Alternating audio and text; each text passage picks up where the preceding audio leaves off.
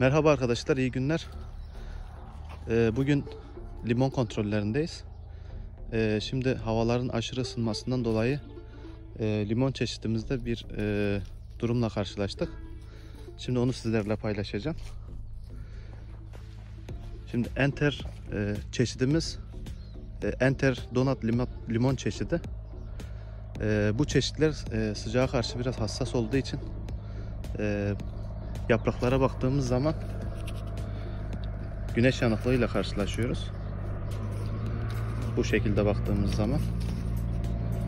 Genellikle bu e, havaların e, birden ısınmasıyla e, bu yapraklardaki güneş yanıklığı genellikle Enterdonat ve Zagara e, limon çeşitlerinde görülür. E, diğer çeşitlere baktığımız zaman böyle durumlarla e, karşılaşmıyoruz. Evet arkadaşlar, e, videoların devamı için kanalımıza abone olup videoları beğenmeyi unutmayalım.